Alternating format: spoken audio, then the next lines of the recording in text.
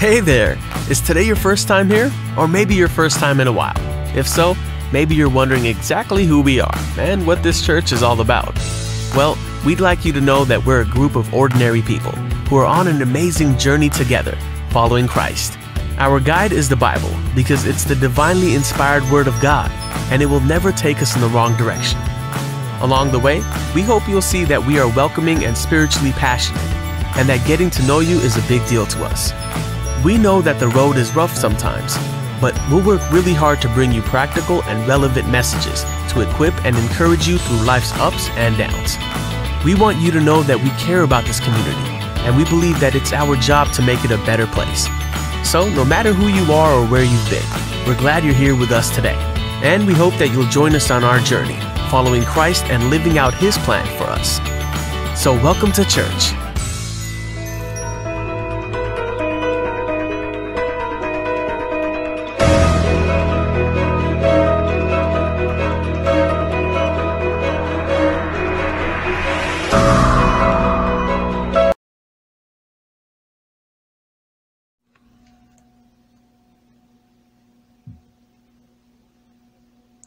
You are listening to KZT Cornerstone Online Live. My name is Newton Huh. As today's Bible, June 19th, 2022, this week by Pastor Joseph Park. I'll be reading a narration that will be through Facebook and YouTube channels. Today's mystery message, Acts chapter 15, verse 22 to 35. The Jerusalem Convention, part 2. Then the apostles and elders, together with the whole church in Jerusalem, chose delegates, and they sent them to Antioch of Syria with Paul and Barnabas to report on this decision. The men were chosen were two of the church leaders, Judah, also called Barsabbas, and Silas. This is the letter they took with them. This letter is from the apostles and elders, your brothers in Jerusalem it is written to the Gentile believers in Antioch, Syria, and Cilicia. Greetings. We understand that some men from here have troubled you and upset you with their teaching, but we did not send them. So we decided, having come to complete agreement, to send you official representatives, along with your beloved Barnabas and Paul who have risked their lives for the name of our Lord Jesus Christ. We are sending Judah and Silas to confirm what we have decided concerning your question. For it seemed good to the Holy Spirit and to us to lay no greater burden on you than these few requirements. You must abstain from eating food offered to idols, from consuming blood or the meat of strangled animals, and from sexual immorality. If you do this, you will do well. Farewell. The messengers went at once to Antioch, where they called a general meeting of the believers and delivered the letter. And there was great joy throughout the church that day as they read this encouraging message. Then Judah and Silas both being prophets, spoke at length to the believers, encouraging and strengthening their faith. They stayed for a while, and then the believers sent them back to the church in Jerusalem with a blessing of peace. Paul and Barnabas stayed in Antioch. They and many others taught and preached the word of the Lord there.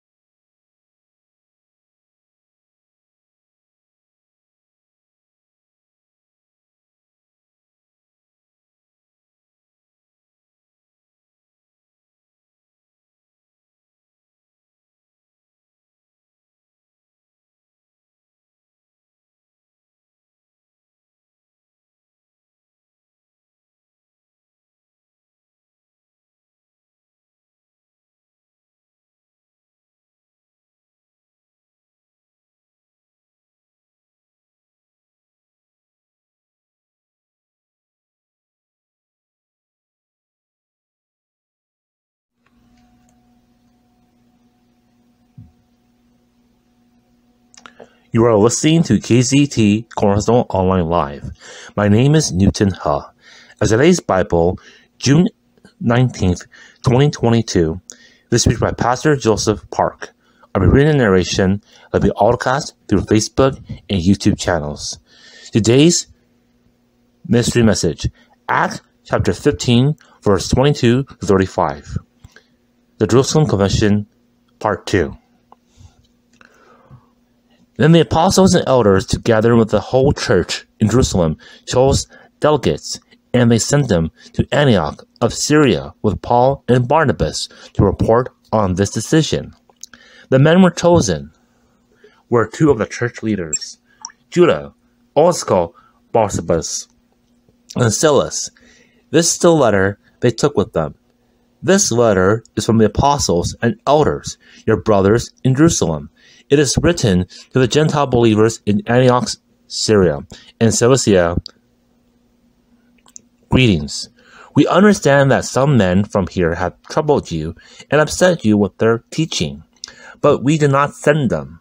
So we decided, having come to complete agreement, to send you official representatives, along with your beloved Barnabas and Paul, who have risked their lives for the name of our Lord Jesus Christ.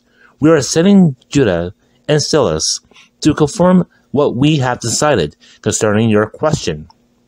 For it seemed good to the Holy Spirit and to us to lay no greater burden on you than these few requirements. You must abstain from eating food offered to idols, from consuming blood or the meat of strangled animals, and from sexual immorality. If you do this, you will do well. Farewell. The messengers went at once to Antioch, where they called a general meeting of the believers and delivered the letter. And there was great joy throughout the church that day as they read this encouraging message. Then Judah and Silas, both being prophets, spoke at length to the believers, encouraging and strengthening their faith. They stayed for a while, and then the believers sent them back to the church in Jerusalem with a blessing of peace. Paul and Barnabas stayed in Antioch. They and many others taught and preached the word of the Lord there.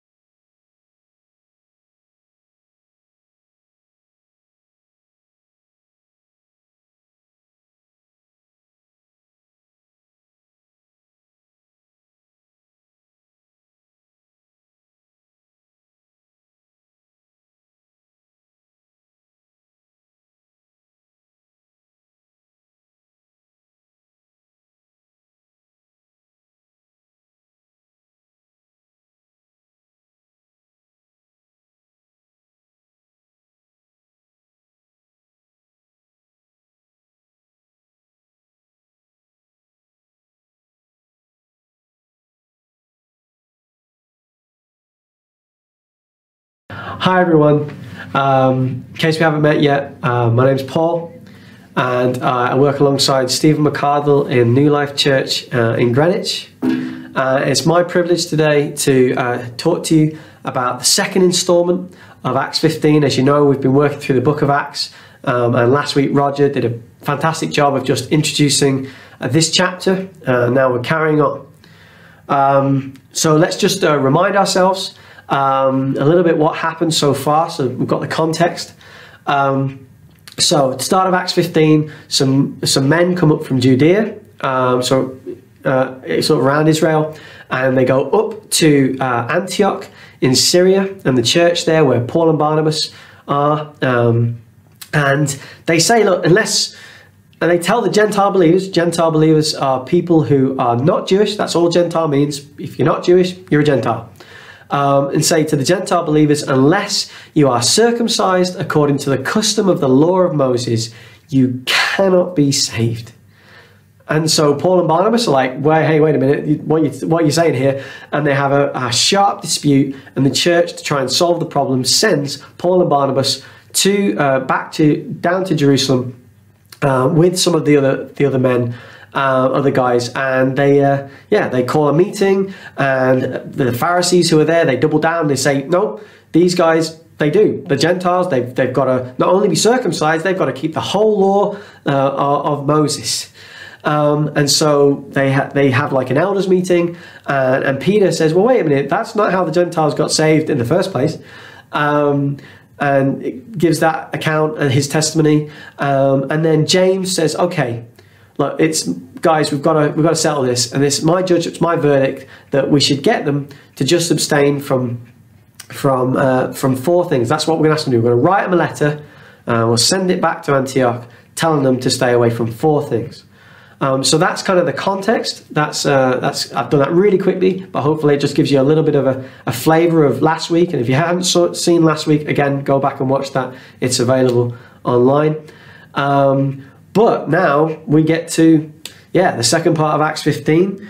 Um, and what, what do I want to talk to you about today? Well, as it happens, um, my, my first sermon point is in this letter, in, the, in this envelope. So let's uh, have a look, see, uh, see what it says. Okay. There we go. Ah. So, what a letter. What a letter! This wasn't just any letter, this is amazing. Um, so, a lot of the letters in the New Testament, I mean, they're long. I mean, Romans, long, long letter. Amazing, but long. This letter is, is seven verses long. It's seven verses long, and it's got so much to teach us. It's got so much to teach us. So, I think today the best way for us to, to get at, you know, to get into this is to just do it. We're going to do it verse by verse, people. We're going to do this. All right, so we're going to go starting at verse 23 of our reading today. And they sent this letter by them. The apostles and the brethren who are elders to the brethren in Antioch and Syria and Cilicia who are from the Gentiles, greetings. Did you catch that? Did you catch that's that's amazing. Like from the brethren, to the brethren. What, what, why, why have I pointed out? The opening statement of this letter is fantastic because it leaves the Gentile believers in Antioch in no doubt about who they are. They are brothers and sisters, they are family, they are part of the body of Christ. That's the way to start a letter to people who are not sure that they're saved when in fact they really are. Hey, don't listen to what anybody else says. You guys are family. Okay, let, this that's uh, verse 1. Wow. Verse 23. Oh my goodness. Let's keep going. Verse 24. Since we heard that some of our number, to whom we gave no instruction, have disturbed you with their words, unsettling your souls. Doesn't that sound just like the devil? Disturbing you, unsettling your soul, robbing you of peace. He will do whatever he can to make your belief in your salvation shaky and your faith in Jesus wobbly. And in this one verse, this, this little part of the letter, um, the Gentile believers in Antioch, we're given the freedom, the permission to take all that rubbish, all that nonsense of the devil and just throw it out the window. It says, we gave them no instruction. In other words, ignore what they told you. ignore what they told you. Verse 25. It seemed good to us, having become of one mind, to select men and to send to you our beloved Barnabas and Paul. And you've got to love that phrase, having become of one mind. That unity, that were uni- they were united. And you know, I think that when Jesus said, a house divided against itself shall fall, you know what? I bet the devil was there. I bet he was taking notes, going, hmm, yeah, no, Jesus, you're right. That is true. Um, how am I going to destroy your church? How am I going to try and destroy your church? Oh, division, division, division. Because the devil also knows that a house united within itself will stand. And I've got to ask today, church, first of all, are we a united church? Do we pursue unity? You know, we, we fight for unity? It's so important. And then uh, another part of this verse that I absolutely love is the fact that they describe the way they described Barnabas and Paul. They said, "Our beloved Barnabas and Paul." And if you just think about what Jesus said, by this all men will know that you are my disciples if you love one another. If you love one another, all, all men are going to see that you are mine that you belong to me, and they'll see Jesus if we love one another. Verse 26, I'm rattling through these, but I hope it's good that you could see this letter is just brilliant. It says, Men who have risked their lives. So they're sending men who have risked their lives for the name of our Lord Jesus Christ. And I heard somebody once say that you can spell the word faith R I S K, risk. You can spell faith as risk. Uh, and again, what did Jesus say? If anybody tries to save their life, they'll lose it. But if anybody like loses their life, risks it all for me and for the gospel, what will happen? They won't lose it all, they'll save it.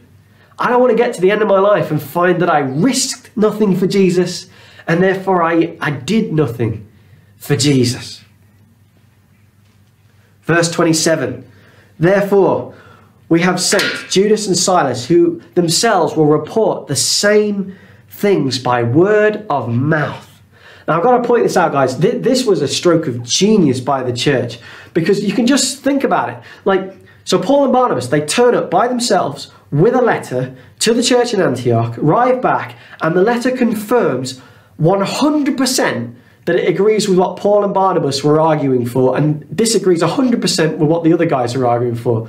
Wouldn't you think there was something a little bit fishy going on? It's like, mm, Paul and Barnabas, are you sure you didn't like pop down the, you know, down the coast, sit by the pool? You know, oh Barnabas, how's that forgery going of that letter? Oh yeah, oh yeah, oh no, sign it off by James. Oh yeah, oh I love that. That's clever. Okay. Oh yeah, I think that's right. You think it's been enough time? Yeah, it's been enough time. Okay, we'll go back now. We'll go back. No, Judas and Silas were there to say, look, this comes with the authority of heaven. This comes with the authority of the church where the church started. So you can believe it. You can put your faith in it. Give it the authority it deserves. Genius. Love this verse. And then we get to verse 28. And we're just going to do the first part of verse 28 to start with. It says, For it seemed good to the Holy Spirit and to us. Now, the letter does not say it seemed good to us. And the letter does not say it seemed good to us and to the Holy Spirit. It says it seemed good to us. It says it seemed good to the Holy Spirit and to us. It seemed good to the Holy Spirit and to us. And I've got to, again, I've got to ask these questions. Are we a spirit filled people today? And not just that, are we a spirit led people today? Do we have a relationship with God or are we just religious? Do we make time to pray and listen? I remember once uh, that I felt I was praying and I felt the Holy Spirit said to me, You know what, Paul? One of the, the biggest lies the devil tries to convince you is that you don't have time to stop and consult with me. And so, you know, if, if we're currently doing something and we're not we're not 100% sure whether it seems good to the Holy Spirit. It might seem good to us, but it seems good to the Holy Spirit. Maybe we need to stop and take the time to, to talk to Him and to listen. So important. Um, okay, we're going to read verse 28 the whole time and, and verse 29 now. Whole thing. For it seemed good to the Holy Spirit and to us to lay upon you no greater burden than these essentials that you abstain from things sacrificed to idols, and from blood, and from things strangled, and from fornication or sexual immorality. Be another translation. If you keep yourselves free from such things, you will do well. Farewell. So that's the end of the letter, seven verses. And it's that last, that, that last little bit of the four things that James sort of said in his verdict. Like, these are the four things. Like, what, what's going on here? Like, did, did James and the council in Jerusalem just replace the Ten Commandments with a list of new, new list of only four things? Hey everyone, it used to be that God didn't like coveting, lying, and stealing, but now he's okay with it as long as you just don't eat black pudding. I mean, is that what's going on? No, we've got to think a little bit more deeply about these things. Like, why did they write these things? So, the four things to abstain from eating food offered to idols, from consuming blood, from eating the meat of strangled animals, from sexual immorality. Why? Why these things? Well, there's a lot you could say here, and commentators have said a lot about it. But I think one of the main reasons was that it was about a lot of people would agree with this that it's about how the Gentile Christians and the Jewish Christians could live together in one in unity, in harmony, in one multi-ethnic family of God. It's about unity. So okay, let's go through and see how does that fit. Okay, so let's start with number one. Abstain from food offered to idols. Okay, so if you Gentile Christians have truly turned away from worshipping idols to worshipping the living God, with Jesus Christ as your Savior and your Lord, then don't carry on eating food offered to those same idols. Firstly, that is like being in shark infested waters and being pulled safely onto a boat for you to then dip your feet back in the water because you like the feel of it. That is a surefire way to get pulled back in and to get eaten.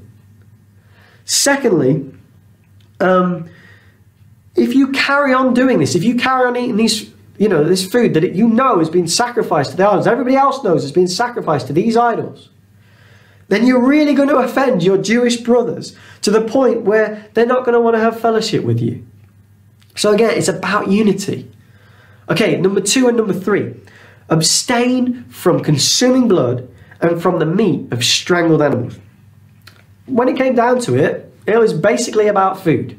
The Christians ate together a lot. I like eating together as the church. You know, shared lunches before COVID. I'm looking forward when we can get back to that. You know, we've been thinking about different ways we might be able to do it, say in the in in, in a park or something like that, or at least meeting together in smaller groups as home groups. Have you thought about that? Meeting together and having a shared lunch and time together. It's it's so good. But let's imagine that, like, let's say you and your family were vegetarians. But not only that, you and your family had been vegetarians for generations, and you came around my house for dinner, and I just served you up a jumbo bucket of KFC. You wouldn't feel very loved, would you? Because the thing was, was that culturally, there were Gentile practices that the Jewish Christians would not have been able to stomach. But by avoiding consuming blood and the meat of strangled animals, they would have been better able to cohabit and to eat together. So that's two and three. What about number four? I mean, number four seems a bit of an odd one out, right? abstain from sexual immorality? What's that about? Why, why is that in there? I think that's pretty much similar to number one. It was basically about two things. First, living a sexually immoral life, at the bottom line, it ain't going to do you any good. Now, there are other passages in the New Testament that go into the details of this. We don't have time for that today, but see 1 Corinthians chapter 6 if you want, as an, as an example. But yeah, at the bottom line, sexual immorality, what does it do? It, it ruins relationships, it destroys families, and it can be immensely damaging to you spiritually and to other people if you insist on practicing it. There is obviously a lot more we could say, but the Bible is clear. When it comes to sexual immorality, flee from it. Now, I said there were two things. Secondly, it isn't going to help you to live and worship alongside your fellow church members, particularly those of a Jewish background. We tend to think of sex solely as like a moral issue, when actually um, it's also a cultural one. Um, but in, in, a, in a pagan Gentile culture where sexual promiscuity um, and was commonplace, was rife, um, and even celebrated, you know, go down the temple and have time with a prostitute. Don't want to get too graphic there. Um, so the newly formed Jewish Gentile church was not going to last long if their understanding of sex and relationships was incompatible. So these are the four things, as you can see. One, two, three, and four. There are other things for them to teach us, but basically it was about unity. And how, how was the letter received? How was it received? Well, verse 31, we read, When they had read it, they rejoiced because of its encouragement. So, we, yeah, what a letter! What a letter! Full of grace, full of truth, full of unity, full of wisdom, full of the Holy Spirit. Wow, what a letter! And by and large, by and large, it solved the issue. It resolved the issue. And, I, have got to ask, church, today, people of God, are we going to learn from this? When, when we bump into a problem, when the devil is doing what he, his absolute best to try and bring division within us as a church, an issue comes up that could divide us, are we going to speak words and write letters that only seem good to us? Or by the help of the Holy Spirit, are we going to tap into God's solution, God's will, His wisdom, His way of doing things, His way forward? Because if we do that, He will lead us onto and into life, provision, peace, breakthrough, unity. Whatever the issue is, He knows the solution. What a letter! Thank you, Holy Spirit. Thank you for helping them write that letter. It's a game changer. Okay, that was point number one. Hmm, I wonder what could be in number two. I'm enjoying opening all this post. Hope you're enjoying it too. There we go. Oh, hey, first time. Check that out. Okay, what's this one say? What a delivery. What a delivery. Right now, I, I want to go back just to the, if you'll bear with me, go back to the start of Acts 1 to 4, and it will make sense. I know it's from the passage from last week, but bear with me, okay? Acts 15, 1 to 4.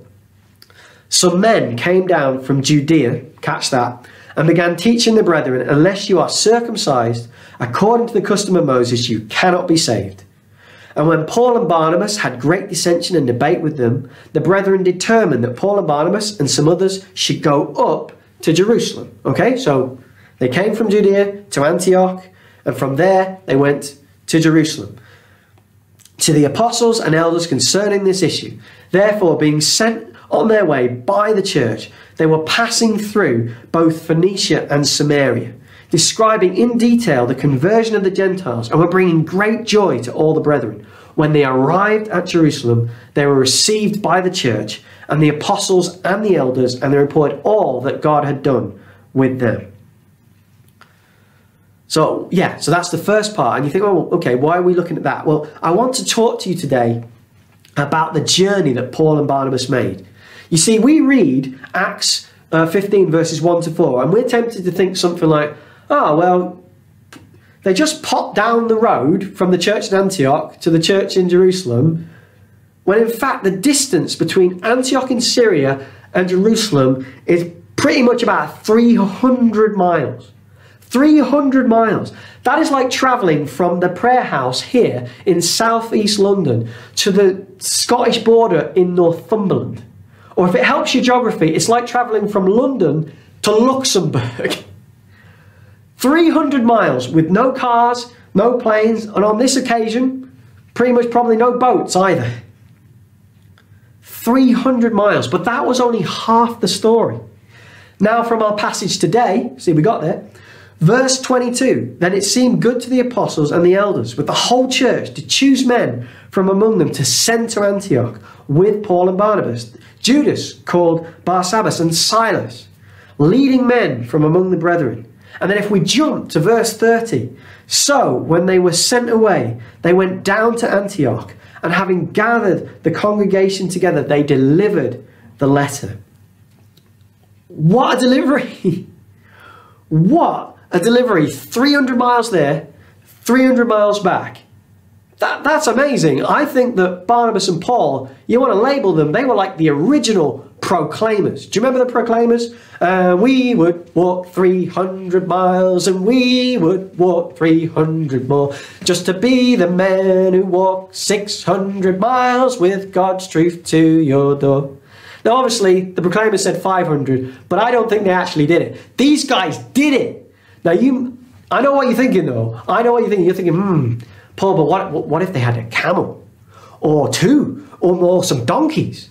And we would ride on smelly camels and we would ride on donkeys too, just to be the man who rode 600 miles on first century transport just for you. The point, the point, that might not scan properly. The point still stands. Paul and Barnabas were willing to make a 600 mile round trip in defense of the truth of the gospel. 300 miles there, 300 miles back. What a delivery!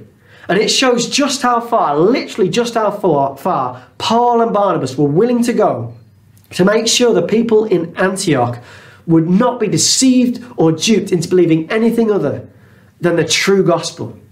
And I've got to ask myself, I've got to ask myself, and I hope you're asking yourself this how far am I prepared to go for the gospel? For the good news about Jesus? To what level am I willing to be inconvenienced so that men and women can live in truth, in freedom, in all that Christ paid for, died for, was crucified for? That's a huge question. That's a big question. You might want to go away and really just think about that. But I guess it really, for me, I guess it depends. How much do I really believe the gospel? How much do I really believe the gospel? But this got me thinking what about the other guys? Because it wasn't just Paul and Barnabas who made the trip. The ones who made the journey the opposite way around, who came from Judea to Antioch and then travelled back with Paul and Barnabas to Jerusalem so that they could make their case to the council in Jerusalem. Their case as to why the, the Gentiles had to be circumcised and why faith in Jesus was not uh, enough by itself and why they also had to obey the law of Moses. Make their case. Did they travel 300 miles to Antioch and then 300 miles back to Jerusalem only to discover that they'd been wrong all that time? Can you imagine that? 600 miles of wrong? 600 miles. Makes me scratch my head. What was going back to Jerusalem like for them? Being at the council, listening to the arguments, hearing the verdict, and realizing that the gospel that they had not only believed but had also been teaching others and living out themselves was not the true one. Believing, preaching, and teaching a gospel that said that what Jesus did on the cross was not enough, that something else had to be added to it. Do you, do you ever feel like that?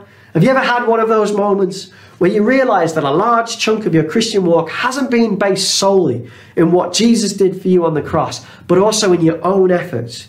You know, I'm saved by faith in Jesus, plus, um, plus how well I'm keeping a list of rules. I'm saved in faith by Jesus, plus how well I'm doing my quiet time, or reading my Bible, or how long I prayed this morning, or any other measure of religious performance you can think of. It, it's so easy to do. It's such an easy mindset to slip into. I do it. I, am holding my hands up. I do this, guys. I really felt like the, the Holy Spirit, I was praying, I felt like God said to me, Paul, stop trying to impress me. That I'd slipped into that mindset of trying to impress him. That Like, oh, if I do this, then God, you owe me. It doesn't work like that. And the problem is sometimes I do it for a long time, like 600 miles long. Oh, I hope the next time that I fall into this trap of this way of doing things, and it doesn't take me a 600 mile journey and that big chunk of my life to figure it out. I think, guys, that I'm trying to think of a way to, to give an analogy for this, a picture for this, and I think it's like my laptop. This is my Lenovo laptop. It was a gift to me from my old church. It's brilliant, but in the last few months, it had been getting slower and slower and slower until using it was a joyless, frustrating trudge of ah. I'm sure there's you know anybody who's got a Windows laptop out there, you might resonate with what I'm saying. Of course, if you're a Mac user, you never have a problem. Um, I'm, I'm just being facetious. Um, so yeah, and I, so I bit the bullet. I realized I knew what I had to do with my laptop. I had to uninstall Windows completely and reinstall it. And it was a big job. But bang, wow, it was amazing. Like suddenly the life sapping, joy sucking, wait for it to do something was replaced by speed and efficiency and fun and yay. And I was left scratching my head wondering why why had I waited so long to sort it out? And so I'm, I'm, i want to ask you today, do you, do you get the point? Do you understand the analogy? Does the gospel that you believe need a factory reset today? Has your baseline operating system of being saved by grace through faith, this is not of yourselves, it is a gift of God, that is Ephesians 2 8 and 9. You are saved by grace through faith, and this is not of yourselves, it is a gift of God. Does that operating system, has it become corrupted? Has it got a virus of your own self effort wormed its way in and now it's all slowing everything down and making it a joyless trudge in your Christian walk when it shouldn't be like that? If so, I've got to ask you, how long are you going to wait to sort it out? Don't wait 600 miles. You are saved by grace through faith, and this is not of yourselves, it is of the gift of God. Praise you, Jesus Christ. Thank you, Lord. Thank you, Lord. So, Acts 15. What a letter! what a letter! And what, what a delivery! What a delivery! But most of all, underneath it all, what a deliverer. And I want to thank you so much for patiently listening to me today. And I hope this has been helpful. But I just want to spend one more minute because in case so, so you know, so have you, uh, you know, our deliverer, Jesus Christ, our Savior, Jesus Christ, do you know what Jesus has done for you today? Do you know? Can you see Him nailed to that tree, bearing that weight, the weight of my sins and the weight of your sins, fulfilling what no person in history had ever been able to do? Christ is the end of the law, so that there may be righteousness for all those who believe. That's Romans 10, verse 4. Can you see him crying out on the cross? It is finished, it is accomplished. The work of salvation, the work of taking sinful, shameful, rebellious, blasphemous mankind, you and me, and making us 100% righteous before God in right standing, in right relationship with Him? Can you see Him? And then by faith, will you believe what the church in Acts 15 believed and believed enough that they sent a letter to confirm it to around the world? It's gone. This message, and if you read what Peter said in verse 11, do you believe this? Because that's what they said. We believe that we are saved through the grace of the Lord Jesus. We believe that we are saved through the grace of the Lord Jesus with no additions. There's nothing I can do to add to it. 1 Peter 3, verse 18 For Christ died for sins once for all, the righteous for the unrighteous, to bring you and you and you and you and whoever you are and you and me to God. We believe that we are saved through the grace of the Lord Jesus. Amen.